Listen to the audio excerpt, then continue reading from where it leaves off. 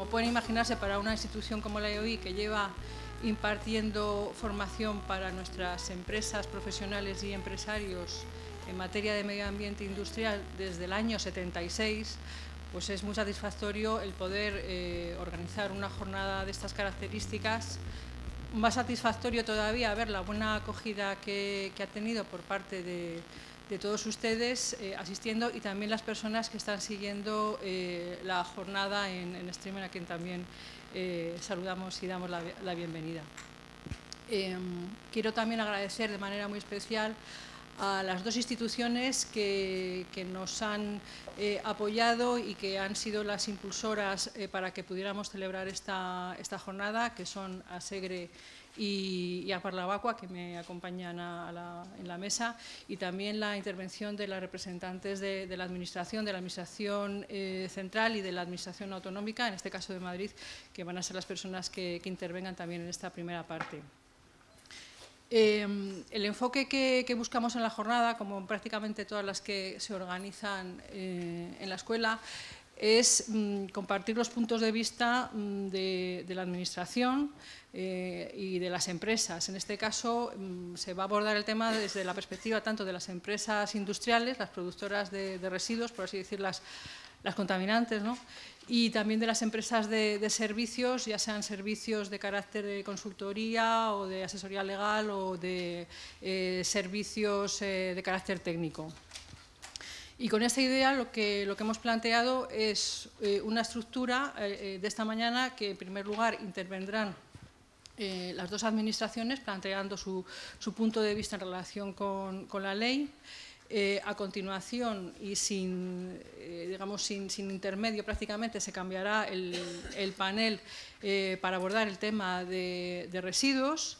Después de residuos haremos un descanso y terminaremos con el tema de suelos contaminados. Y bueno, pues por mi parte nada más, reiterar el agradecimiento a todos ustedes y pasar la palabra a Antonio Rodríguez, que es el presidente de ASEGRE en la demarcación territorial de Madrid. Pues muchas gracias. Hola eh, eh, a todos. Veo muchas caras conocidas, algunas que no había eh, hace, hace, tiempo. Y bueno, muchas gracias a la, a la escuela. Y deciros que, bueno, aunque sea repetitivo, nos encontramos ante una situación económica la peor que se está viviendo en todo el mundo, no solamente en España, en las últimas eh, décadas. Y esto también influye de manera muy notable en la gestión de los residuos. En Asegre, que prácticamente abarcamos el 80% en la gestión de los residuos industriales en España, para que ustedes hagan una idea, el descenso en la producción está en torno al 30%. Y si hablamos de suelos contaminados, en más de un 40%. Esto influye notablemente en la actividad. Actividad que ha el decrecido y ha hecho que estemos pasando por unos momentos graves. Graves en situaciones económicas, graves en situaciones de regular plantillas. Y bueno, ante esta ley nos está ofreciendo yo creo que nuevas oportunidades. Y puede ser una ley, esta ley, donde tenemos términos nuevos, términos que nunca han aparecido, como agentes, como sus productos, fin de residuo, que tenemos que saber administrar bien y que tenemos que ser capaces de sacar partido para que este sector, que lleva 25 años, o más de 25 años, potenciándose, haciéndose fuerte, no olvidemos este trabajo que hemos hecho durante estos años y sigamos aumentando este esfuerzo que hemos hecho. Porque sin el esfuerzo de todos, productores, gestores y administración, esto se nos puede venir abajo. Son momentos muy difíciles, como digo, en el plan económico, y la gente se despista, y más en materias ambientales. Por eso creo que esta ley puede reforzarnos a seguir manteniendo ese espíritu de lucha y de hacer las cosas como se tienen que hacer por el medio ambiente. El GASEGRE queremos seguir ofreciéndonos a la Administración, entender el, apoyo para el colaborar, ayudar en cualquier iniciativa, en decretos, leyes que puedan hacer que este sector siga potenciándose, aumentando su actividad, porque no hay que olvidar, y todos que lo sabemos, que los residuos, como siempre decimos, los producimos todos. Y un buen sector ambiental potencia un buen sector económico en España. Eh, muchas gracias a todos. Sí, bueno, si, veo que funciona el, que tengo de solapa, voy a utilizar, voy a utilizar este. En primer lugar, buenos días. Y eh, mm, eh, Concha nos ha dicho que hoy es martes y 13, pero se le ha olvidado decir que esta cúpula, que tiene un diseño, como pueden ver, un poco es bastante característico, nos protege de los malos augurios que pudiese tener el martes y 13. O sea que en ese aspecto podemos estar tranquilos. Eh, muchas gracias a todos porque estar aquí hoy en vísperas de, la Navidad y del Año Nuevo pues es muy difícil. Es muy difícil porque todos estamos pensando en cerrar el año, dejar todo controlado antes de irnos de vacaciones y encontrar un ratito para estar con nosotros, la verdad es que es de agradecer. Y sobre todo a los ponentes, a los ponentes que además de sacar un ratito, pues han tenido que leerse la ley y hacer una, labor de reflexión y de síntesis para contarnos pues, aquellos aspectos que ellos ven más, más importantes para eh, debatir en público. Por otra parte, eh, quiero reflejar y que todo el mundo sea consciente de que esta jornada no es un hecho aislado, no es una jornada que nos hemos sacado pues, para rellenar un hueco.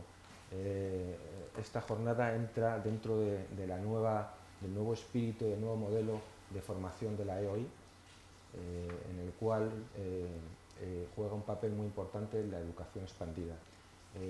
desde la EOI yo soy, además de, gerente de grandes cuentas en la Vacua, soy director del máster de profesional de Ingeniería y Gestión Ambiental y desde la de hoy se, pretende que parte de la, formación que se da se dé en abierto y se comparta eh, con toda la sociedad.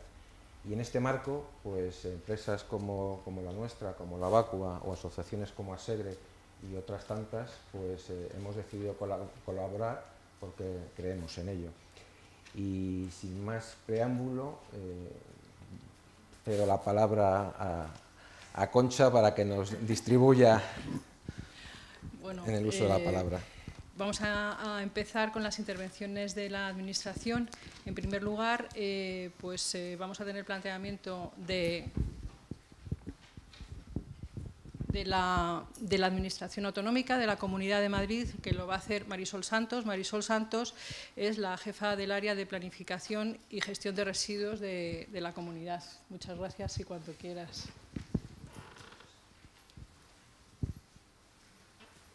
En primer lugar, buenos días. Gracias a la organización por haber invitado a la Comunidad de Madrid a participar en esta jornada. Y expresar eh, la intención de la Comunidad de Madrid de que la ley se pueda llevar a cabo sin grandes, grandes eh, desajustes, porque la época en la que estamos de crisis es importante que la gestión sea eficaz y que la gestión sea eficiente. Y nos preocupa el sector industrial y nos preocupa que se pueda cumplir la ley que tiene como objetivo una mejora en, la, en, la, en los recursos, en la gestión de los recursos, en la gestión de los residuos y en la obtención de los recursos hemos pasado, espera, voy si no hacia atrás. Seguramente tanto la ponente del Ministerio, Ana y yo, nos vamos a, a pisar algunas de las opiniones o de, o de, los aspectos que vamos a tratar de la ley. Yo voy a intentar ir sobre todo a temas prácticos, pero claro, a ver si me aclaro. La ley, como todos saben, se publicó el 29 de julio de 2011 permíteme, Ana, que te diga, dije con nocturnidad y alevosía, viernes, antes de vacaciones y con entrada en vigor al día siguiente. Y bueno, pues eso ha dado lugar a que eh, en el primer mes de, entrada en vigor de la ley poco se ha podido hacer, pero sí que algunos de los problemas que, que, vamos a tener en su aplicación pues se han puesto de manifiesto, lo cual nos va a permitir, también nos ha permitido un conocimiento, una inversión en la ley y un conocimiento rápido de por dónde van a ir algunos de los temas. Eh, plantea alguna moratoria para temas concretos que son más complejos y, que requieren desarrollo legislativo. La ley es una ley eh, amplia, tiene 56 artículos, pero además cada uno con un contenido bastante importante y bastante potente. Además tiene muchas disposiciones adicionales, tiene disposiciones transitorias. Y tiene un aspecto importante, creo, de cara al sector industrial, que son sus 12 anexos. Los 12 anexos son el resultado de eh, la preocupación de las administraciones y, del propio sector industrial de intentar integrar y de establecer requisitos comunes en todo el territorio nacional. Entonces, ahí el Ministerio y las comunidades autónomas discutimos mucho y nos planteamos y al final se llegó a añadir unos anexos para que haya unos mínimos comunes y para que la actividad de, productores, de gestores de residuos tenga unos mínimos comunes en todo el territorio nacional.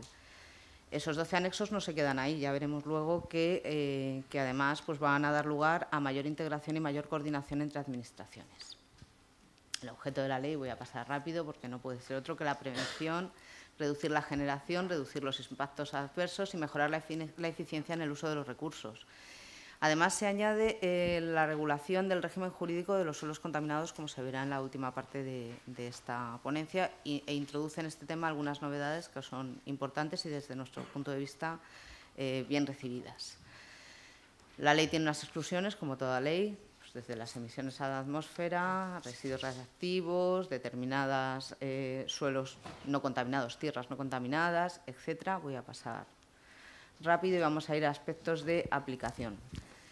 Eh, novedades de la ley, esto es muy importante, pues en las definiciones, en la clasificación de los residuos, porque al final es lo que configura cómo va a ser la dinámica de aplicación, cómo van a ser los protocolos de aplicación. Aparecen nuevas figuras, como decía el representante de Asegre, el agente, no tan nuevo quizá porque ya existía la figura del negociante en la ley del 98, que en algunas comunidades autónomas es cierto que al final no se plasmó, en, no tuvo una aplicación práctica, pero por ejemplo en la Comunidad de Madrid sí que teníamos un registro de intermediarios y teníamos intermediarios registrados, aquellos eh, operadores que ponen en contacto, que su, que su actividad consiste en organizar la gestión, ponen en contacto productor y gestor para ayudar al productor a gestionar el residuo aparece una figura nueva, el negociante, que eh, bueno, requiere gran desarrollo y requiere mucho cuidado en el análisis, que es el que compra y vende residuos. Y que eh, estamos haciendo muchos esfuerzos, todas las eh, administraciones, precisamente para regular cómo se consigue la actuación de estas figuras que están reconocidas en la Directiva Marco de Residuos. Y no olvidemos que la ley es precisamente eso, la incorporación al derecho español de una directiva de, comunitaria del año 2008. Y aparecen nuevos conceptos como fin de la condición de residuo, como subproducto, como el cálculo de la eficiencia energética en determinadas instalaciones, el término de preparación para la reutilización, es decir, aparecen conceptos ya recogidos en la directiva y que lo que pretenden es precisamente que eh, los residuos no se vean como aquello que sobra, aquello que tengo que deshacerme como sea, sino que son una fuente de recursos y muy importante. Decía que hay una primera novedad que es la definición de residuo. Antes en la ley 1098, si era cualquier sustancia o objeto perteneciente a una de las categorías que estaban establecidas en la ley, de la que su poseedor se desprendía o tenía la obligación de desprenderse. Y en todo caso los que figuraban en la lista europea de residuos. Aquí se ha dado un paso más, la definición es más corta, pero ahora ya hemos incorporado el término desechar, es decir, eh, hay una intención clara de eh, deshacernos del residuo y tiene que ser, y ese es el objeto de la ley, de una forma controlada y adecuada. También hay una clasificación nueva de los residuos. Antes teníamos pues, una clasificación hecha un poco desde la propia ley que hablaba de residuos urbanos o municipales y residuos peligrosos y no peligrosos. Luego se incorporaban distintos flujos, los RCDs, los RAEs, las pilas. Y ahora tenemos dos clasificaciones, se deducen de la ley. Una por su origen, domésticos, comerciales o industriales, y otra por su naturaleza, peligrosos y no peligrosos. Estas dos clasificaciones, evidentemente, tienen eh, puntos comunes. en las tres categorías tenemos residuos peligrosos y no peligrosos. Pero sí que eh, esta nueva clasificación puede ayudar a establecer medidas de prevención, sobre todo, porque no es lo mismo establecer medidas de prevención cuando en función de la generación no es lo mismo los domésticos que los industriales o que los propios residuos comerciales. Hablábamos de las nuevas figuras, aquí hay una rata porque pone agente y es intermediario. Y nunca, siempre sé que la tengo, pero nunca la cambio. Eh, agente negociante y el agente sí que lo he considerado como una nueva figura por lo que hablaba, porque en algunas comunidades autónomas no tuvo su expresión práctica y porque además ahora con la figura del negociante y con su condición de gestor, porque esto sí que es una novedad, expresamente se dice que tanto agentes como negociantes son gestores de residuos y por tanto sus obligaciones y su régimen de control eh, es un poco más estricto que el que era antes, bastante más estricto que el que era antes, eh, son figuras importantes y que van a tener y que van a dar lugar a, nuevas relaciones y a nuevos problemas y esperemos que también a, dar solución a los problemas de la industria. Aparece el recogedor con sin instalación. Esta es una figura que también en la Comunidad de Madrid la consideramos nueva porque no teníamos la figura del recogedor, teníamos transportistas que asumían la titularidad del residuo y bueno, los gestores de la Comunidad de Madrid saben, los de otras comunidades, que solamente se permitía y se autorizaba a asumir la titularidad del residuo a aquellos transportistas que disponían de una instalación en la que poder descargar sus residuos, por si acaso, porque un transportista su función es llevar el residuo desde el centro productor o gestor intermedio a una instalación donde va a ser eh, tratado o almacenado. Entonces, en la Comunidad de Madrid, con la Ley 1098, que recogía la figura del transportista asumiendo la titularidad, eh, se entendía que si hay un problema durante ese traslado, si cuando llega el transportista al centro de tratamiento no pueden recibirle por cualquier causa, desde porque hay un problema en la instalación a porque no cumple parámetros de admisión, que estas cosas pasan, el transportista debía de disponer de un centro donde poder descargar y donde poder mantener el residuo en condiciones adecuadas. Bueno, pues ahora esa figura ya desaparece y tenemos recogedores con y sin instalación. Esta es una de las figuras que eh, en las reuniones que periódicamente tenemos en el Ministerio estamos discutiendo para darle contenido y para llegar todas las comunidades autónomas, fundamentalmente, que somos las que la vamos a aplicar, por eso hablo de las comunidades autónomas, pero eh, tener todas las administraciones la misma, el mismo concepto de recogedor, tanto con como sin instalación. Y un último concepto que es la preparación para la reutilización, que a mí me gusta remarcarlo porque las definiciones son muy duras y preparación, toda operación, incluso la comprobación de que un objeto o material que se ha convertido en residuo puede ser utilizado sin necesidad de, más tratamiento. Y en, esta, en este concepto vamos a tener que hacer también un gran esfuerzo de interpretación para determinar cuándo estamos ante una, una preparación para la reutilización y cuándo no. Y es importante haberlo incorporado porque muchas veces la práctica nos supera y es cierto que las leyes se incumplen, pero también es cierto que a veces sin querer las leyes se están cumpliendo y en muchas ocasiones objetos que se habían convertido en residuos volvían al circuito, digamos, del producto sin que se haya contabilizado y estábamos haciendo esfuerzos en reutilización que no se están eh, registrando como tales.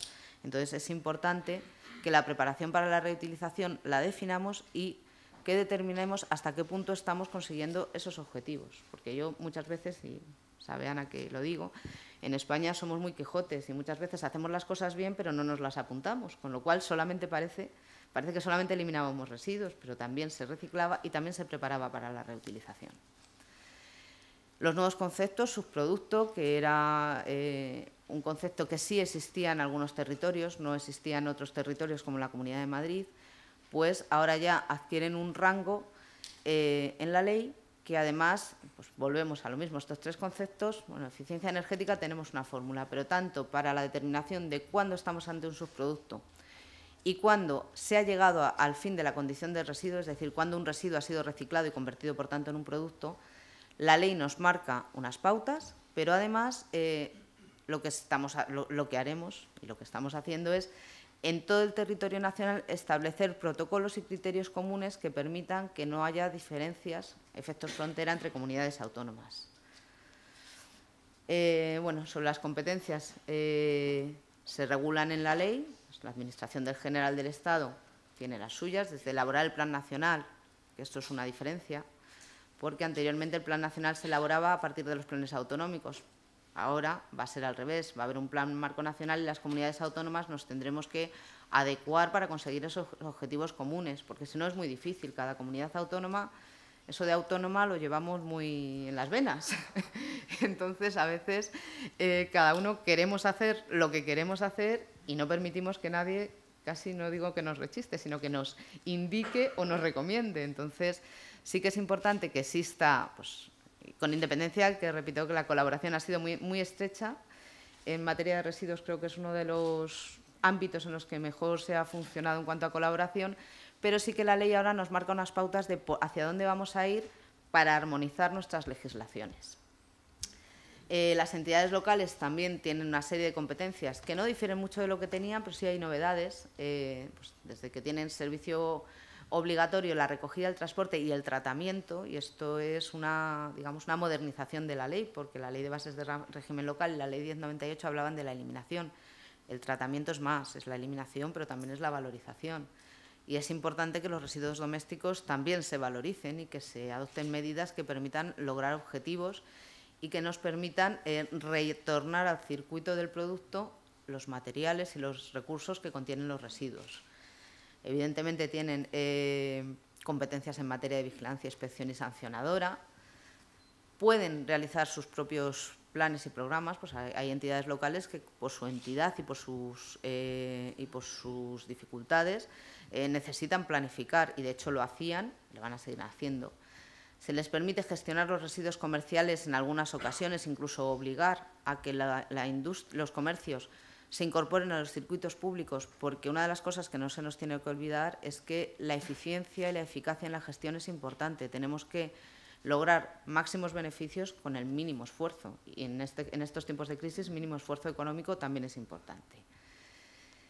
Y a las comunidades autónomas, y por eso lo he puesto en tercer lugar, aunque en la ley van en segundo, nos quedan el resto, desde eh, la elaboración de los programas autonómicos de gestión y de prevención, las competencias en materia de autorización, vigilancia y sanción, el registro eh, de información en materia de producción y gestión de residuos. Esta es una novedad a la que no me he referido hasta ahora. Y es que se crea un registro único. Uno de los eh, puntos, yo creo, más importantes de la ley y fundamentales es que su objetivo siempre es la armonización entre la eh, aplicación práctica de la ley en todo el territorio nacional la armonización en los criterios y también la simplificación, favorecer el acceso a la información y disponer de información fiable. También tenemos competencias que ya teníamos por la Ley 1098 en materia de traslados de residuos entre Estados miembros de la Unión Europea, las potestades de vigilancia, inspección y sanción en el ámbito de nuestras competencias y además la cláusula de cierre que siempre se pone en toda ley, que es aquellas que no estén contempladas entre las anteriores. Esperemos que no surja ninguna extraña, porque entonces tendremos problemas. Eh, decía que eh, creo que el objetivo y, el logro fundamental de la ley es esa búsqueda de armonización de, criterios comunes y de aplicación común en todo el territorio nacional.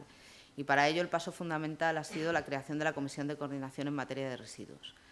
Eh, la va a presidir el director general de Calidad y Evaluación Ambiental del Ministerio de Medio Ambiente, vicepresidente será un miembro de una comunidad autónoma y en cuanto a sus componentes, pues mayoritariamente somos las comunidades autónomas, un miembro por comunidad autónoma, tres miembros por parte, creo que son de la Federación de Municipios, ocho miembros por parte de distintos departamentos ministeriales, porque claro, el tema de ambiental y el tema de residuos es un tema muy horizontal y afecta a muchos aspectos en una industria a los gestores de residuos fundamentalmente porque digamos que es su ámbito de actuación, pero cualquier industria produce residuos.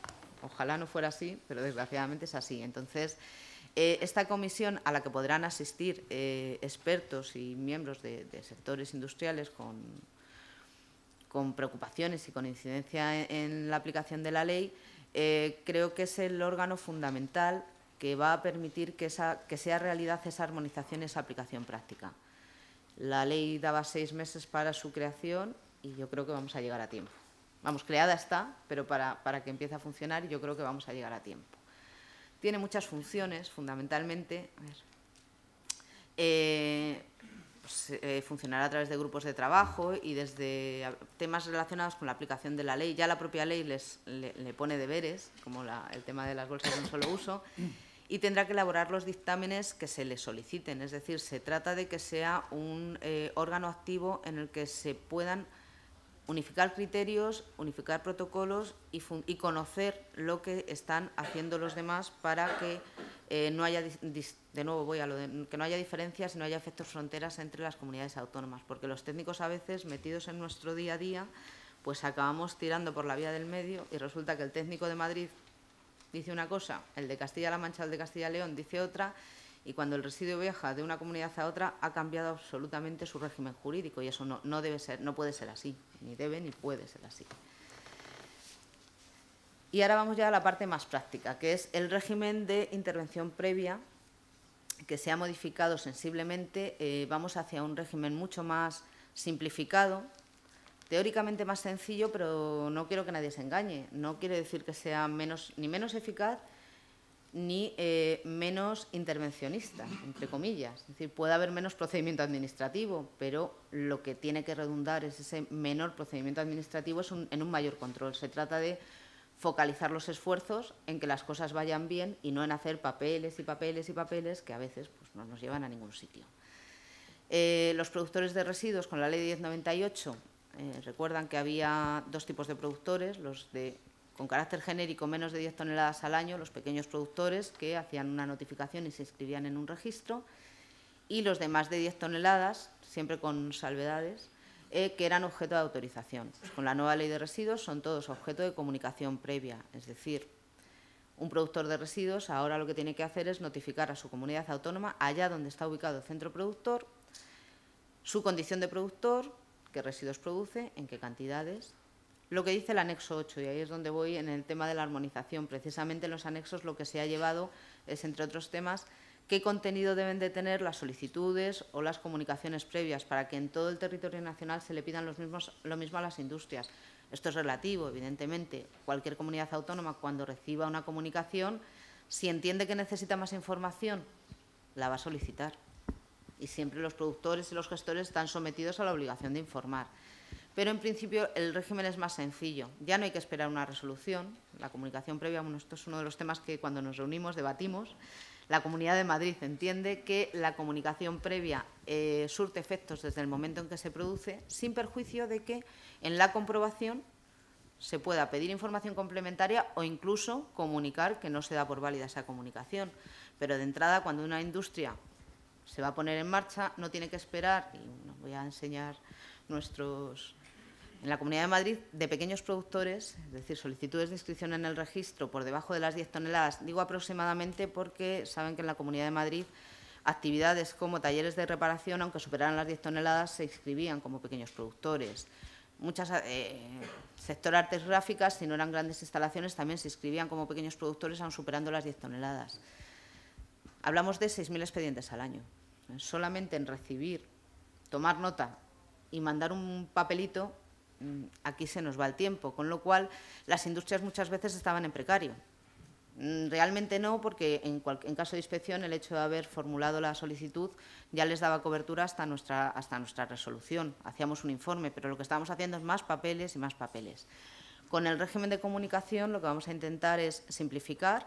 La comunicación, decía, tiene efectos desde el momento en que se presenta, salvo que después, en la comprobación, se diga que no ha cumplido usted y por lo tanto se entiende no comunicado y se le dará un plazo para que repita la comunicación. No tiene por qué haber grandes problemas porque la información que se pide es básica y generalmente pues el problema está en que no me da usted los códigos del residuo o que se le olvida un residuo y a los cuatro días me mete un nuevo papelito, con lo cual eh, ahí es donde pueden estar los problemas. Pero está operando ya, Decirles que todas aquellas empresas que hubieran solicitado su inscripción en el registro de pequeños productores antes de la entrada en vigor de la ley, les contestaremos, porque entendemos que si no quedan en un régimen de inseguridad, que, no están los tiempos para eso, pero eh, se entiende que han formulado la comunicación, siempre en cuanto a los residuos y cantidades que han notificado. Es decir, esto sí que es importante, no se vaya uno a pensar que con mandar un papel vacío surte efecto no, hay que dar el contenido que marca eh, el anexo de la ley.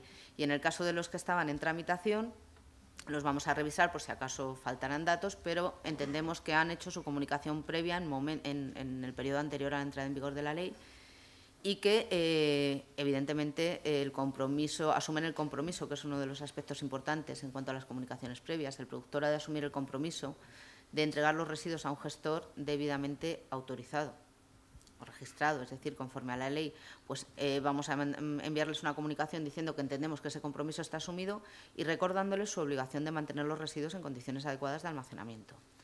Se añade eh, para aquellos productores de residuos no peligrosos, estamos hablando de más de mil toneladas al año, también el régimen de comunicación.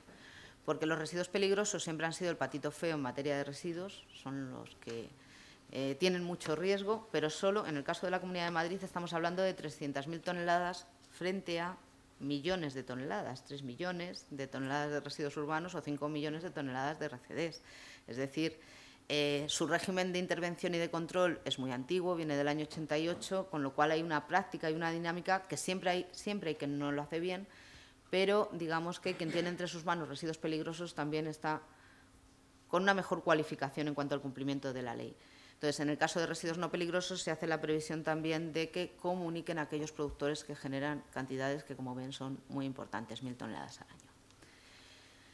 Eh, en el caso de los gestores, el régimen eh, se divide en dos. Hay unos que son, van a ser de comunicación previa y otros, aquellos que tienen una instalación, serán de autorización. Figuras que tenemos entre los gestores, decía, novedades, agentes y negociantes que pasan a tener la condición de gestores, con lo cual su régimen jurídico se aclara bastante. Eh, en la ley anterior teníamos los agentes, vamos a decir que eran los intermediarios, que eran de registro. Los negociantes y los recogedores son figuras nuevas, que son de comunicación previa, y los transportistas, que antes estaban también registrados y que ahora van a seguir registrados. ¿Dónde tienen que hacer su comunicación? Y este también es eh, una, una, de las eh, razones por las que consideramos que la ley de, nueva ley de residuos armoniza y unifica. Solamente allá donde tengan su sede social.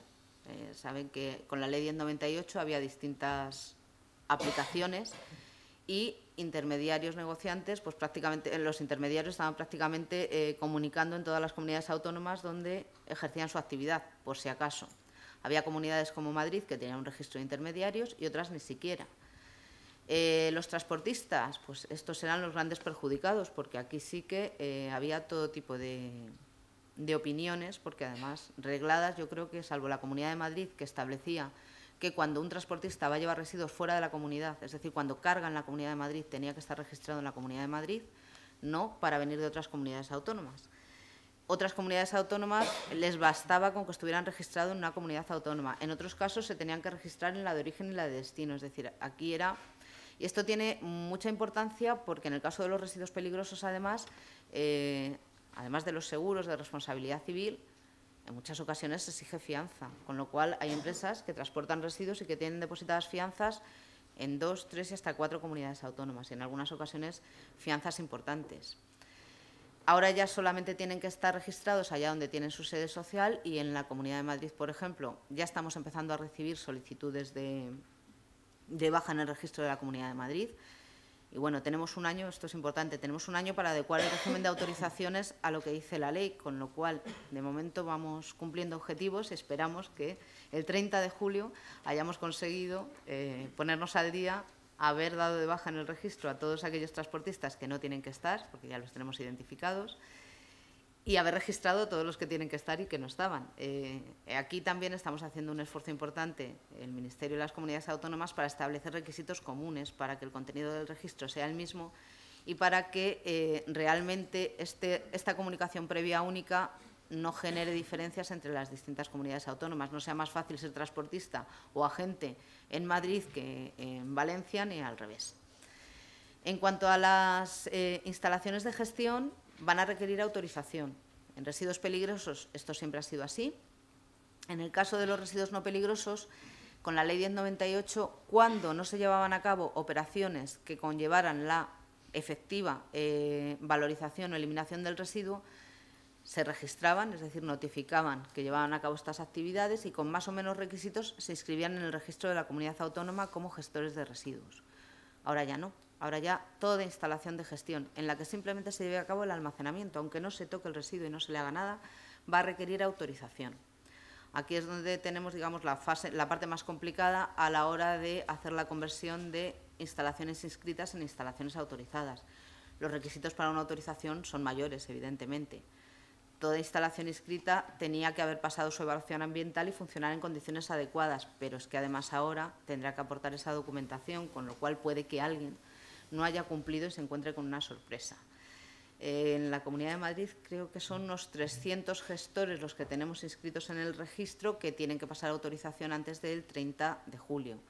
Estamos en ello, vamos a hacerles un requerimiento para que aporten la información que les falta y, eh, bueno, si simplemente si han cumplido, si estaban cumpliendo la legislación, toda la legislación ambiental anterior, no va a haber ningún problema, aportarán sus evaluaciones ambientales, aportarán sus requisitos en cuanto a seguridad ciudadana, etcétera, y si no, pues se quedarán en el camino, pero ya se tenían que haber quedado antes. Lo que pasa es que el régimen más sencillo de intervención anterior pues daba lugar a que algo se escapara.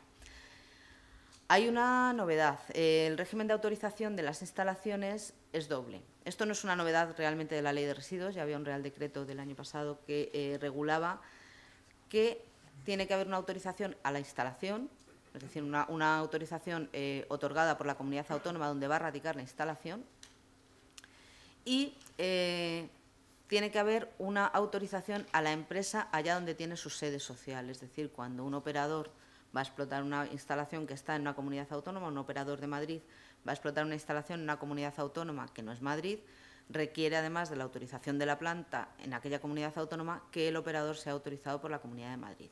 Y aquí, pues bueno, de nuevo, eh, quiero decir, en todos, eso sí que aparte de la comisión técnica, ya se están realizando reuniones y ya estamos haciendo esfuerzos para unificar criterios, unificar requisitos y que no haya eh, distorsiones debido al régimen de intervención. Eh, claro, este régimen de comunicación previa, tanto de productores como de gestores, que la autorización parece claro. Alguien solicita, se le ponen unos requisitos y va a recibir un papelito que va a poder presentar para decir yo estoy autorizado y puedo funcionar. El régimen de comunicación previa exige algo que nos dé seguridad jurídica. Entonces, pues tenemos desde poder contestar, y ya les digo que en la Comunidad de Madrid nos hemos eh, autoconvencido de que nos pueden los papeles y no es posible, entonces, ¿cómo vamos a hacer llegar a aquellos que hagan una comunicación previa que efectivamente esa comunicación es conforme y que, y que pueden operar? Que esto es importante para los productores, pero sobre todo para los gestores que tienen que prestar un servicio y que tienen que acreditar su condición regularizada. Vamos a ver, sí, a través de la consulta en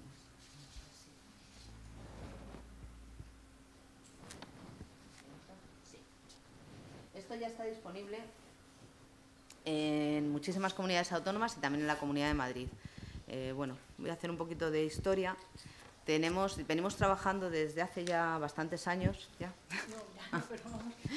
eh, el Ministerio y las comunidades autónomas en un sistema de, eh, de traslado, de, compartición electrónica de la, de la información y de seguimiento de residuos peligrosos, es el que tenemos más avanzado, en materia de residuos por vía electrónica. Esta es otra de las novedades de la ley, la gestión telemática de la información.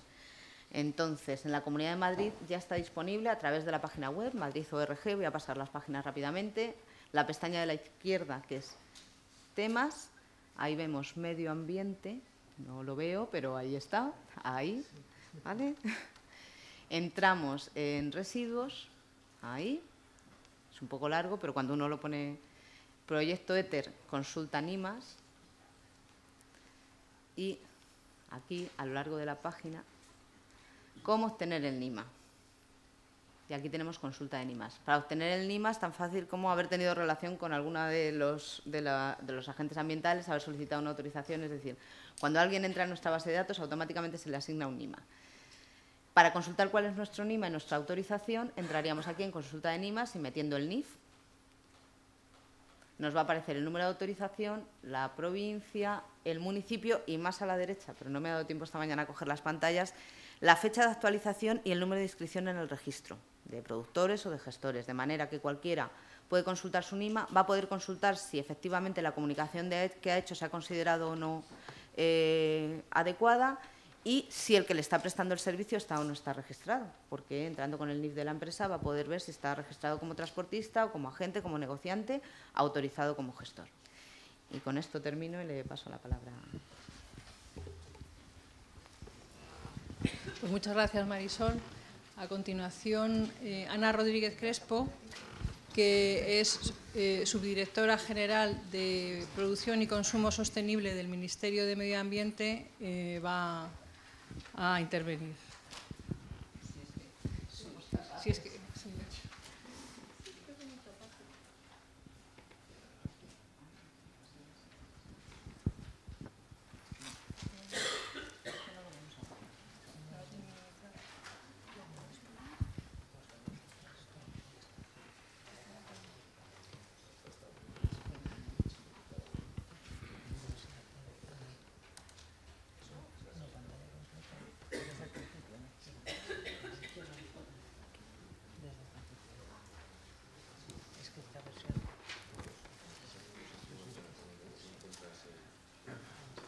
Bueno, buenos días.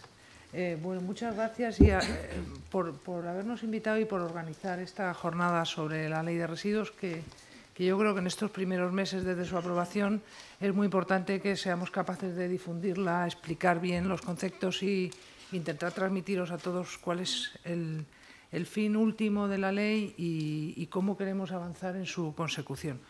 Yo después de la intervención de Marisol comprenderéis que es un poco difícil, que, porque además no nos hemos puesto de acuerdo. Eh, voy a intentar no, repetirme demasiado, voy a intentar decidir en algún tema que ya no ha tocado. Yo creo que ya he hecho una aproximación más práctica de lo que significa en términos de gestión diaria de los productores y los operadores en el mundo de los residuos y voy a intentar hacer alguna reflexión general. Yo creo que, uno de los objetivos fundamentales de la ley es posicionarnos en una situación radicalmente distinta a la que teníamos en el año 98. Yo creo que la idea inicial es, en el año 98 lo que se pretendía es que los residuos que se abandonaban o que se gestionaban de forma inadecuada, había muchas operaciones ilegales de gestión, vertidos, etcétera, yo creo que es una solución que afortunadamente eh, está prácticamente desaparecida. Y realmente el reto que tenemos ahora es conseguir que la gestión de los residuos en los próximos años en España signifique un cambio significativo tanto en el concepto como en los enfoques, de tal manera que, nuestro reto sea, por un lado, intentar evitar de forma eh, clara e inequívoca la producción de residuos. Ese es un reto que en una situación de crisis económica es absolutamente eh, importante y esencial. Es decir, tenemos que ser capaces de ahorrar muchas materias primas en los procesos de producción y tenemos que evitar que se consuman residuos que pueden ser evitados y que no tiene sentido que sigamos eh, introduciendo muchos recursos que van a tener una vida muy corta y que finalmente eh, van a acabar teniendo que ser gestionados. Y es indudable, por otro lado, que ese, que ese reto que en la ley se recoge apuntando incluso un objetivo cuantificado de prevención, de, reducción del 10% de los residuos generados para 2020. Tiene que ir acompañado, evidentemente, de cambiar también la gestión de los residuos que inevitablemente vamos a producir. Y en ese, en ese entorno lo que es importante es hacer una apuesta clara por aprovechar de forma eficiente los recursos que contienen los residuos. Y fundamentalmente, y la ley lo marca así, tenemos que ser capaces de apostar por aprovechar los recursos materiales en primer lugar, sino los recursos energéticos, limitando al máximo y asegurando el vertido seguro de lo que no ha podido ser ni reciclado ni valorizado o con una segunda vida. Como ha, hecho, como ha dicho Marisol en la, en la presentación, yo creo que que, el concepto de preparación para la reutilización y de reutilización que aparece en la ley diferencia dos cosas claras. Diferencia una apuesta de los fabricantes por hacer eh, productos que puedan ser eh, reutilizados o usados muchas veces sin necesidad de que el poseedor se desprenda de ellos, que estaríamos hablando del concepto de reutilización, y también la otra segunda, el otro segundo enfoque sería cuando el poseedor de un de un objeto, de un material, se deshace de él, que, haya mecanismos que permitan que previa reparación, eh, sustitución, comprobación de su funcionalidad, puedan reintroducirse otra vez nuevamente en el mercado. En ese caso estaríamos hablando de una operación que sería una operación R de valorización que tiene que ser autorizada. Ya hay empresas que hay, tienen experiencias importantes en el tema de preparación para la reutilización. Eh, que no sé si habéis oído hablar de ellas. Eh, hay una asociación que se llama AERES, que ha colaborado en el desarrollo de la ley, ha hecho muchas sugerencias para que modificáramos y tuviéramos en cuenta eh, este, este, ese punto de vista sobre preparación para la reutilización. Yo creo que es un tema que es un tema importante. Hay incluso en comunidades autónomas donde hay una actividad económica en torno a esto importante, incluso eh, hay incluso grandes almacenes que proceden de eh, aparatos que, venden cosas que han sido reparadas en esos centros. Esos centros en general de preparación tienen un esquema de economía social, en general trabaja gente con dificultades y tienen un equipo de trabajo técnico sólido y están haciendo cosas que aparentemente resultan aquí todavía como muy puntuales, pero que realmente pueden ser importantes en el futuro. De hecho, eh, ya veis, hay tiendas de segunda mano en España ha habido un, hubo un momento en el que había, ahora están empezando a aparecer y yo creo que esa es, un, es una tarea importante y además que transmite a la población la necesidad de conservar lo que tiene. Eh, en el tema este de preparación para la reutilización, yo creo que, la ley también hace una apuesta importante y yo creo que va a ser eh, significativo porque va a haber incluso nuevas, nuevas revisiones de directivas como en aparatos eléctricos y electrónicos, etcétera, en la que se va a hacer una apuesta también importante sobre, sobre ese tema. Eh, sobre el concepto de, mm, de, residuo, yo quería hacer una consideración que yo creo que, apoyando un poco lo que ha planteado Marisol, eh, la definición de residuo ahora mismo, y eh, yo creo que tiene un, una idea clara que es la, que subyace, que es la voluntad del poseedor del residuo. Y es, es él el que decide si algo se convierte en residuo o no. Y yo creo que eso es una cosa importante. ¿eh? Entonces, eh, yo creo que hay, hay, en este contexto en la ley, hay como si dijéramos varias matizaciones a ese concepto general de residuo que tienen que ver, por un lado, con el concepto de subproducto, que en esa, en esa idea hay, llamaríamos subproducto a los residuos de producción que cumplen, que, se pueden reutilizar e introducir en el ciclo productivo de una determinada forma sin dañar al medio ambiente. Es decir, que serían residuos de producción que no se les aplica al marco jurídico de los residuos, pero tienen que cumplir una serie de requisitos. Es decir, no, no creamos que es un que es un tema, no, yo decido que esto es su producto, no. O sea, todas las verificaciones, que no las quiero contar aquí porque es un poco aburrido, pero la idea que os quiero transmitir es que tienen que verificarse una serie de condiciones y se tienen que comprobar. Tiene que haber una serie de dictámenes que garanticen que, eso se puede considerar como su producto. Y en el caso del fin de la condición de residuo, ese concepto estaría al revés. Estaría algo residuo se somete a una operación de tratamiento y, bajo unas determinadas condiciones decimos que ya a partir de ahí ya no opera el régimen jurídico de los residuos. Y en ese, en ese, en ese caso yo quería hacer hincapié en... Os he puesto aquí en esta transparencia el, reglamento eh, que fija los criterios para establecer cuándo determinados tipos de chatarra, de hierro y aluminio dejan de ser residuo.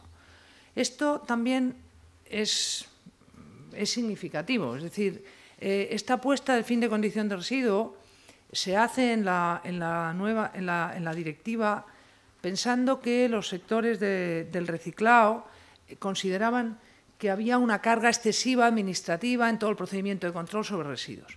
Y aparece este concepto de fin de condición de residuos, se encarga al Instituto Conjunto de Investigación de la, de la Comisión Europea que se desarrolle un procedimiento para abordar este, este concepto muy teórico y al final, eh, y además el mandato en la directiva era sobre distintos materiales, que tampoco vamos a detallar, pero hay cinco básicamente que se está trabajando, que es el vidrio, es el papel, eh, el plástico están iniciándolo ahora, los bioresiduos y no sé si hay alguno más, ahora mismo no recuerdo.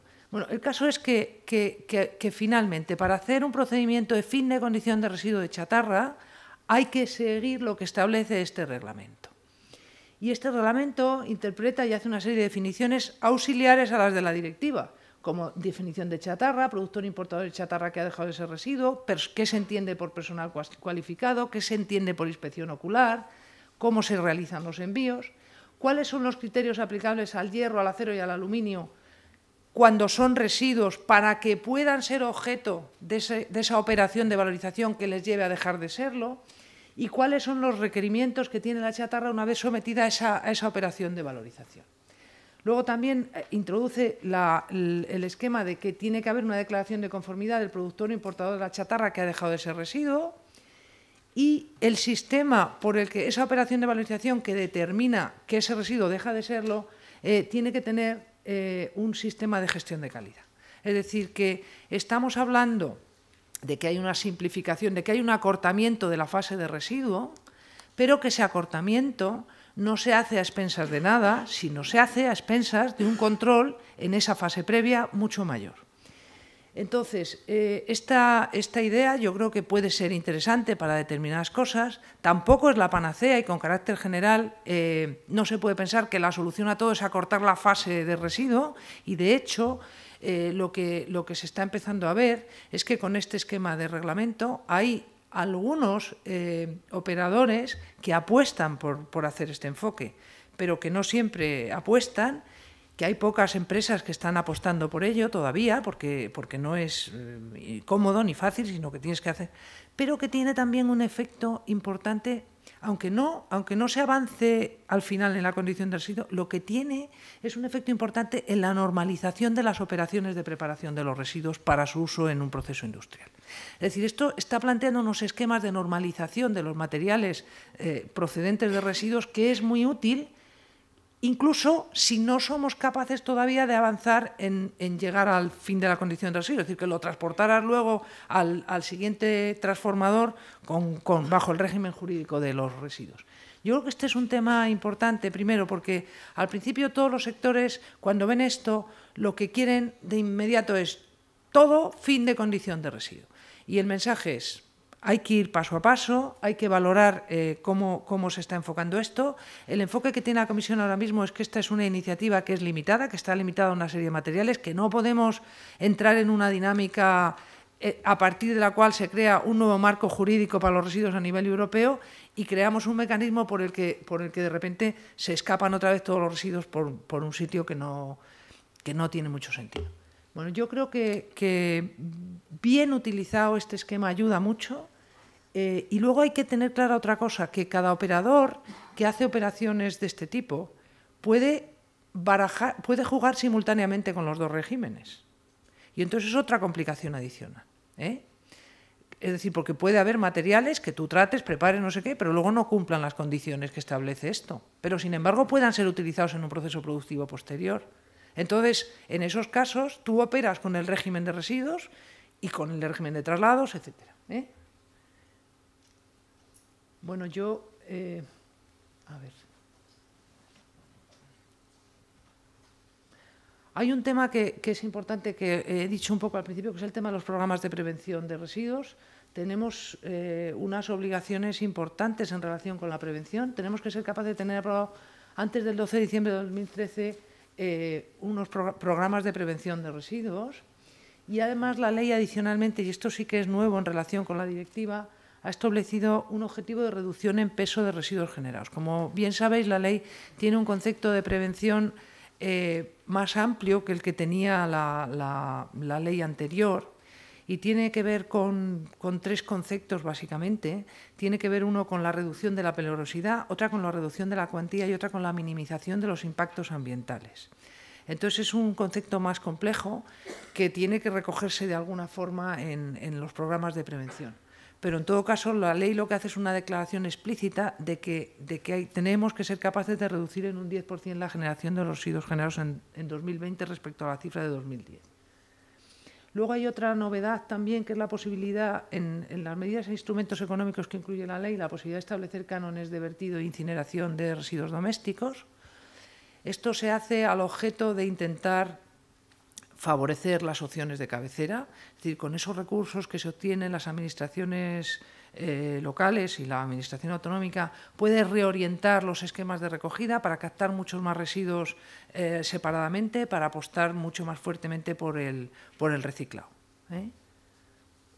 Y de hecho esto es un hecho ya en algunas comunidades autónomas y, y el balance que se tiene es, es bueno. Hay, yo creo que en la Unión Europea también hay algunas iniciativas en este sentido y se están estudiando muchas, porque yo creo que la clave de utilizar bien los instrumentos económicos en la gestión de los residuos permite avanzar en la determinación de una gestión óptima mucho, mucho más deprisa. Bueno, yo creo que estas serían las obligaciones del productor, que las podéis, vamos, que no tienen, lo podéis identificar fácilmente. Esto es un poco el esquema que ha planteado Marisol, que no voy a entrar en él. Hay dos aspectos también que, son importantes, que, yo creo que nos han comentado, que es el tema de las exenciones de los requisitos de autorización que se pueden plantear para determinados residuos peligrosos, para la eliminación de residuos peligrosos en el lugar de producción y para la valorización de residuos no peligrosos. Entonces, esto capacita a las administraciones a la Administración, al Ministerio, porque se hace mediante orden ministerial, pero siempre en el marco de la Comisión de Coordinación. Es decir, el esquema, el esquema de toma de decisiones, como ha dicho Marisol, está planteado de una manera muy compartida, entendiendo que, la nueva ley de residuos no puede hacer otra cosa que ajustarse, por un lado, al régimen de, competencias que tienen las administraciones, porque lo contrario sería un dislate, y lo que, sí que tenemos que hacer es ser capaces de identificar el interés común de qué operaciones son las que queremos eximir de valorización y con eso plantearíamos unas órdenes ministeriales donde se especificaría en qué términos se puede hacer esa exención. Y luego hay otro instrumento que yo creo que es realmente importante, que tiene que ver precisamente también con ese relajamiento previo en la, operatividad de determinados gestores. Es decir, cuando, hablamos de que tienen que estar sometidos, que, tienen que, realizar una comunicación a la Administración donde tengan su, sede social, lo que, lo que, inmediatamente se pone al lado es que las administraciones pueden cerrar los establecimientos o paralizar las actividades cuando no cuenten con autorización, declaración o registro, y puede haber una suspensión temporal de la actividad cuando no se ajuste a lo declarado en la autorización. Es decir, que el esquema aquí es de simplificación administrativa, pero a la vez tener mucha más capacidad de no tener que esperar, sino que simplemente con esa condición, no contar con declaración, registro autorización, tú puedes intervenir y cerrar hasta que no cumpla esa condición. Entonces, yo creo que este es un tema también importante. Es decir, el mensaje es Podéis operar siempre que tengáis eh, las condiciones requeridas, pero en el momento que operéis sin tenerlas, saber que la Administración puede intervenir en cualquier momento. Yo creo que ese es otro tema que yo creo que es importante transmitir. Es decir, se confía en los actores, pero a la vez se tiene el arma de poder paralizar las actividades que sean ilegales muy deprisa. Eh, el tema de los objetivos eh, tiene que ver mucho, hay una serie de objetivos que tienen que ver mucho con los residuos de origen doméstico y municipal. Ha habido mucho debate sobre algunos de los temas que, comentamos aquí. No sé si sobre el tema de la posibilidad de establecer sistemas de depósito, evolución y retorno en los envases domésticos. Eh, bueno, la, ley ha reflejado una disposición muy medida porque ha sido un tema muy conflictivo en el que lo que se viene a decir es que eh, si, se, ve que, es, económica y ambientalmente viable la implantación de sistemas de depósito, devolución y retorno, pues se podrán realizar, pero que en todo caso hay muchas cautelas y solo bajo la seguridad de que estamos contribuyendo realmente a la mejora del medio ambiente con unos costes razonables o asumibles o, equivalentes, pues se podría poder implantar ese tipo de sistemas.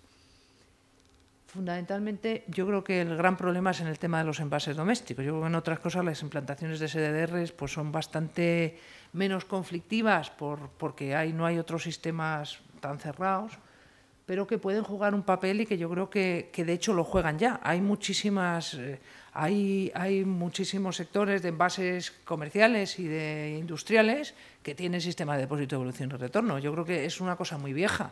Es decir, cargar con un, depósito en un sistema individual un, producto para que te asegure su devolución, pues es una manera muy cómoda de garantizar los retornos. O sea que yo creo que no, eh, ha habido gente que nos ha dicho incluso que quitáramos esa idea de la ley, pero es que es una idea que no se puede quitar, es un hecho y además yo creo que, siempre hay que pensar que la ley está pensada para, llevar objetivos a medio plazo y que no podemos dejarnos eh, en la mano ningún instrumento que nos permita realmente eh, cambiar de forma mm, sustantiva la gestión de los residuos en función además de, hay muchos escenarios en los que cambian las cosas, es decir, cuánto, cuánto cuesta eh, el PET o cuánto costaba hace cinco años, cuánto cuesta ahora procedentes residuos, eh, cuánto cuesta las latas de acero ahora o cuánto cuestan después, en qué medida está dispuesta la sociedad a abandonar esas latas en el entorno o a tener que contabilizar parte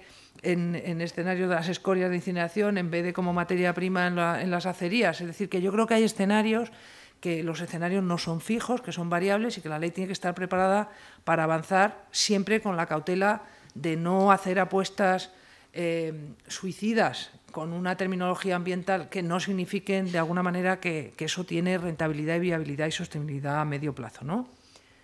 Bueno, yo creo que también hay otro tema que es importante, el tema de la recogida separada de papel, metales, plástico y vidrio antes del 2015. Aquí la ley lo que hace es una apuesta por lanzar un mensaje de flexibilidad en los mecanismos de recogida existentes que tenemos. Uy, qué horror. El teléfono. Perdonadme. Y además con esa música. lo tengo para que lo. para que lo oiga. Además nunca lo encuentro, ¿no? Esto soy, nunca contesto, además. Por eso tengo esta música. En fin. Bueno, pues entonces lo que, lo que decía es que yo creo que, la, idea que, queremos transmitir en la ley con, el tema de, las, de, los sistemas de recogida existentes en el ámbito municipal es que tenemos que ser capaces de apostar por una cierta flexibilidad. Probablemente los esquemas de recogida que tenemos ahora no son en todos los casos ni en todas las situaciones.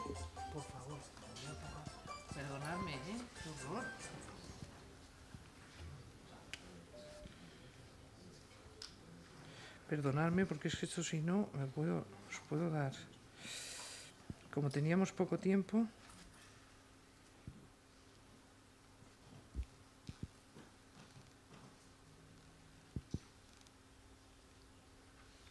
Bueno, ahora ya no nos molestará más.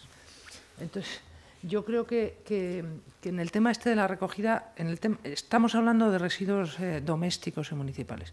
Tenemos muchos retos para los próximos años en relación con objetivos de reciclado. Como veis aquí, el 50% de residuos destinados, domésticos destinados a preparación para utilización y reciclado es un objetivo alto que ya se ha aprobado una decisión eh, de cómo se pueden calcular estos objetivos. Tenemos un reto que es incrementar de forma significativa las tasas eh, de reciclado que tenemos actualmente. Tenemos todavía eh, muchos residuos en, que van a los vertederos y es evidente que si no cambiamos nada en los procedimientos tanto de entrega de los residuos como en los esquemas de tratamiento, no vamos a cambiar de forma significativa la gestión. Y hay muchos recursos en los residuos domésticos que tenemos que ser capaces de aprovechar. Y es clave analizar los sistemas de recogida existentes. Y además, esos sistemas no pueden ser homogéneos en todo el territorio. Es decir, los esquemas de contenerización que tenemos o los esquemas mm, de separación en fracciones que tenemos, pues son discutibles. Y en unos casos pueden ser los óptimos y en otros no. Y además, en, municipios con una estructura de población distinta, con una estructura territorial diferente, bueno, pues la ley apuesta por buscar esa flexibilidad. Es decir, para intentar, eh, además, hacer análisis previos que permitan ver si con ese mecanismo de distribución que tenemos se captan más, se captan menos residuos. Eso significa, evidentemente, un mayor compromiso de las administraciones locales. Las administraciones locales, en general, mm, tienen un esquema de funcionamiento muy a través de, una contrata, donde se les encargan cosas, en muchos casos percibes en los mecanismos de contratación mensajes curiosos, interpretan en muchos casos la gestión de los residuos como una gestión de limpieza pública. Yo creo que, tenemos un reto ahí frente a las administraciones locales, tenemos que transmitir un mensaje de cambio en ese tema. Hay que enfocar eh, la gestión de los residuos en los municipios como una manera de captar materiales, de ser eficiente, de separar de la forma adecuada. Probablemente hay esquemas de, recogida puerta a puerta que, ahora mismo se están implantando en muchos municipios, que llegan prácticamente a cambiar eh, la relación de, 40-60 en cuanto a posibilidad de reciclar materiales a, a 70-80 frente a 20 es decir, que yo creo que, hay un reto muy grande en cómo se recogen los residuos, en cómo se entregan y en cómo se hace eh, la recogida. Y yo creo que ese es un reto importante que es clave para cambiar de forma significativa las tasas de reciclado. Y en este sentido también el, tema de los bioresiduos es otro tema importante también. Es clave para llegar a unos objetivos altos de reciclado que la fracción de más peso que supone el 40% de la, de la basura doméstica pueda recogerse de forma separada que es la única manera de que consigamos que el, producto resultante del tratamiento del compost sea de buena calidad y pueda ser utilizado de forma segura. Y yo creo que, la apuesta que hace la ley por los residuos municipales es una apuesta que, que significa la posibilidad de cambiar, de mejorar y de analizar de forma más precisa todo lo que se va gestionando cada año. Hay un tema que, que, ha hablado Marisol sobre el tema de la información, que ha hecho una referencia a ese compartir el registro de producción y gestión como información compartida, y yo haría también hincapié en otra cosa. la ley hace una apuesta muy fuerte por identificar la información que deben suministrar las plantas de tratamiento a las administraciones y las administraciones tienen que usar esa, información. Es clave para hacer buenas políticas de gestión de residuos el analizar lo que hemos hecho, el valorar si con el esquema que tenemos, qué estamos captando, qué estamos perdiendo, qué estamos... Yo creo que ese, este, ese es un poco el salto ese que os decía de pasar de que los residuos no se abandonen a gestionarlos como, como, como unos recursos que tenemos que aprovecharles al máximo y para eso tenemos, igual que en una empresa se analizan los procesos productivos para optimizarlos, pues en, el sistema de gestión de residuos tenemos que hacer ese mismo esquema, también analizar cómo gestionamos los residuos y ver dónde podemos cambiar para mejorar. El régimen de traslados en el, interior del territorio del Estado es un tema también que ha cambiado en la, ley nueva y yo creo que, que, básicamente tenemos que entender cómo régimen de traslado en el interior los transportes de residuos entre comunidades autónomas para su valorización y eliminación. Este tema ha sido tremendamente debatido en la ley. Yo creo que al final el enfoque que hemos hecho encaja un poco en las ha dado respuesta un poco a la mayoría de las críticas que se nos, que se nos hacían y yo creo que puede ser eficiente. Eh, en realidad, la ley no entra en cómo se trasladan los residuos dentro de cada comunidad autónoma, ¿eh? solo entra en cómo se transportan entre una comunidad y otra. Entonces, fija la obligación de notificación previa a las autoridades de origen y destino cuando el traslado se realice para eliminar residuos o cuando el traslado se realice para valorizar residuos domésticos mezclados, peligrosos u otros que se determine reglamentariamente. Es decir, la ley capacita a la Administración a regular que determinados residuos que no sean peligrosos puedan tener que realizar una notificación previa a las autoridades de origen y destino. Asimismo, establece los motivos de oposición por razones ambientales, a los traslados destinados a eliminación o valorización. Aquí los problemas de restricción del mercado, que es un tema iterativo, eh, hay, un motivo claro por el que una comunidad autónoma se puede oponer a, puede poner barreras y es exclusivamente por motivos ambientales y están tipificados en el reglamento de traslados de residuos comunitarios. Entonces, yo creo que hemos hecho, eh, hemos hecho una referencia a, unas determinadas disposiciones del reglamento, no lo hemos aplicado en su totalidad, es mucho más sencillo porque es a nivel interno, pero es evidente que puedes oponerte por razones ambientales. Eh, y por otro lado, todos los traslados de residuos entre comunidades autónomas tienen que ir acompañados de un documento de identificación. Entonces, esto es un tema clave para poder controlar el posible traslado ilegal de residuos porque hay muchos residuos que no tienen que ir acompañados con ningún DCS. Y entonces este mecanismo nos permite tener bien identificados los residuos que se mueven de unas comunidades autónomas a otras. Evidentemente estamos trabajando para que sea lo más simple posible, el, vamos, que sea el, documento de identificación el más elemental posible. Incluso hay una, modificación de la carta de transporte que lleva el transportista. Estamos barajando ahí alguna posibilidad para que sea muy, muy elemental, siempre que se pueda. Eh, bueno, la entrada y salida de residuos en el, del territorio nacional se regula por el reglamento comunitario, por el 1013. Yo no sé cómo voy de tiempo, muy mal. Sí. Bueno, pues yo creo que solo simplemente decir que hay dos artículos que dan cobertura al concepto de responsabilidad ampliada del productor del producto eh, como sabéis, hay muchas legislaciones específicas de residuos en las que ya eh, se usa ese concepto de una forma un poco matizada, no exactamente igual, pero eh, la directiva marco daba cobertura general para hacer esto y entonces nosotros hemos introducido esta, este, esta disposición y hemos intentado también establecer un conjunto de de mecanismos de cómo puede aplicar ese concepto de responsabilidad amplia del productor tanto un fabricante a nivel individual como un conjunto de fabricantes. Y esto es eh, lo, que, lo que se venía conociendo como sistemas integrados de gestión y entidades gestoras de los sistemas integrados de gestión. Bueno, pues esto ha cambiado un poco en, la nueva ley. Eh, hablamos de, sistemas colectivos y necesariamente esos sistemas colectivos que pueden tener forma de asociación u otro, otro tipo de entidad eh, pueden funcionar directamente o pueden crear una entidad administradora para que descargar determinadas obligaciones. No necesariamente lo tienen que hacer. Y también eh, hemos hecho un, una relación detallada de las obligaciones que tienen que cumplir estos sistemas, que yo creo que van a contribuir sin duda a dar mucha más transparencia a cómo, a cómo operan y cómo se relacionan con otros sectores de actividad.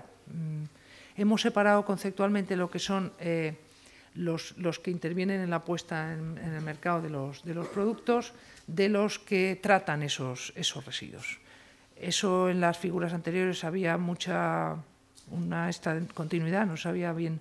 Y yo creo que eso eh, aquí apuesta más por separar lo que son los responsables de la puesta en mercado con cómo eh, contratan o interaccionan con los gestores que recogen, tratan, transportan residuos,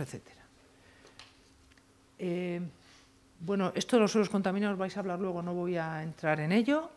y luego solo señalar un poco, mm, referirme al esfuerzo importante que hace la ley en el tema de información en materia de residuos. Yo creo que este es el gran reto que tenemos. Tenemos unas obligaciones de información con, la Unión Europea, con la OCDE, con el Convenio de Basilea, con de las, de las administraciones y, todo eso se basa en que desde el primer productor de residuos, el primer, el que trata el residuo, la administración que recibe todo esto, tenemos que articular un mecanismo por el que toda la información fluya desde, el que genera la, la actividad e informa de ella para que seamos capaces de llegar al final de una forma ordenada. Y yo creo que todo este tema de los anexos que os ha comentado Marisol es muy importante porque nos va a permitir normalizar mucho y, por lo tanto, la integración de la información que procede de miles y miles de fuentes se pueda consolidar de forma rápida en informes que permitan eh, realizar una toma de decisiones rápida. Del régimen sancionador, eh, inspección, bueno, yo lo revisa un poco, yo no voy a entrar un poco en detalle sí que, sí que yo creo que quería transmitiros una idea que es importante. Antes había en la ley antigua había un concepto sobre la titularidad del residuo que nos traía siempre locos. Ese tema del titular siempre eh, que, de alguna manera tenía que ver con, el concepto de la propiedad o de la responsabilidad. En algunos casos alguien habla de propiedad, otros de responsabilidad. Y yo ahora la ley hace una da un mensaje claro. Lo que hace la ley es decir, qué responsabilidad tiene cada uno de los que tiene el residuo en su mano a lo largo de todo el proceso hasta que se acaba su, tratamiento final. Y yo creo que es, que es mucho más que es mucho más transparente. Yo, como, como agente, ¿qué obligaciones tengo? Como, eh, como persona, como entidad que realiza una operación de valorización, ¿qué obligaciones tengo? Como productor de residuos, ¿qué obligaciones tengo? Directamente, hablemos de obligaciones en cada fase. Ese es un poco el esquema que hace la ley.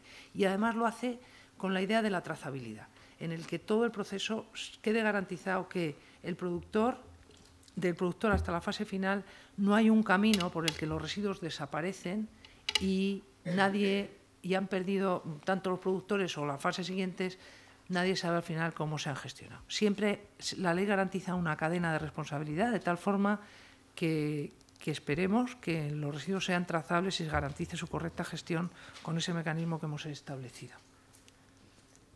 Bueno, yo creo que ya con esto eh, no voy a decir nada más. Solo daros esta, esta, idea de cuáles son las tareas en las que estamos trabajando ahora mismo. Bien, es verdad que estamos en un periodo muy transitorio, va a haber un nuevo gobierno ahora, pero la idea que se ha planteado para los próximos mm, meses inmediatos son la constitución de la comisión de coordinación. El plazo finaliza en enero, es decir, que hasta que no se nombren los nuevos ministerios no podrá haber los nombramientos de los representantes ministeriales. La creación del registro de producción y gestión es una tarea en la que estamos absolutamente a fondo trabajando ahora mismo. El desarrollo del Real Decreto sobre el procedimiento de traslados de residuos es importante porque, va, a indicar cómo tienen que moverse los residuos entre comunidades autónomas. Tenemos ya un borrador que está siendo visto por las comunidades autónomas. Cuando ese borrador esté más consolidado, pues seguirá el proceso que siguen todas las normas ambientales. Y el otro reto, que es el gran reto, es que en un plazo de, tres años tenemos que adecuar toda la normativa existente de los flujos específicos de residuos a la nueva ley. Bueno, nada más y muchas gracias. Pues muchas gracias Ana y, Marisol por vuestras intervenciones y el esfuerzo en ser complementarias.